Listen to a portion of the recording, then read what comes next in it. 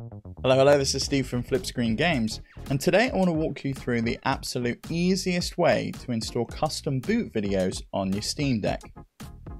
So here we are in gaming mode, and this tutorial is going to require that you've already installed the Decky plugin loader. So if you haven't already, check out our last video all about Decky plugin loader and theming your Steam Deck.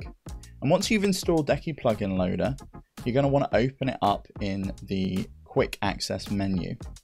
Now from here, you can click on the store and you're going to want to download a plugin called Animation Changer, which I've already got installed here.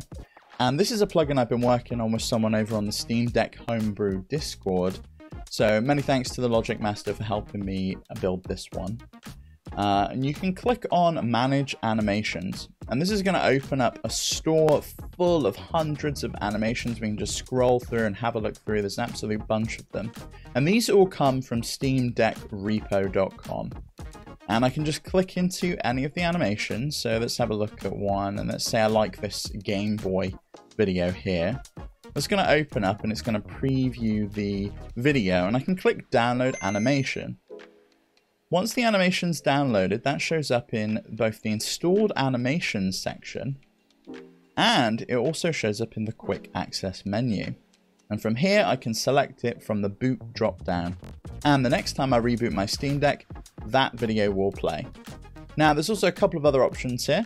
We can select Shuffle on Boot, and what this will do is it will select a random animation whenever the Steam Deck boots up. Or I can click Shuffle, and that's just going to go through all of my animations that I've got downloaded and just select a random one, which is really, really cool. If you've got a ton of animations downloaded, then that's absolutely fine. Now, Animation Changer also allows you to install animations through the desktop mode by dragging them into a folder. And if you do that, you can also set up suspend and throbber animations. And if you're interested in seeing more about suspend and throbber animations, then let me know down in the comments below and I might do a follow-up video just walking you through how to set those up. Now I'm going to reboot my Steam Deck and we'll have a look at the animation that we've just installed.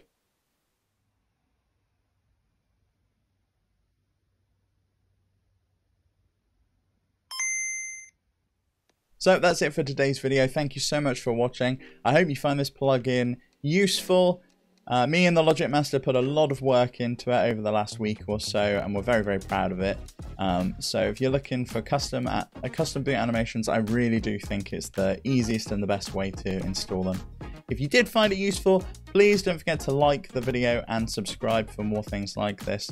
We've got a bunch of other Steam Deck tutorials on the channel if you're looking to get PlayStation Remote Play set up, theming your Steam Deck, or we've got a Steam Deck podcast every single week on Thursdays, and we talk all about the Steam Deck.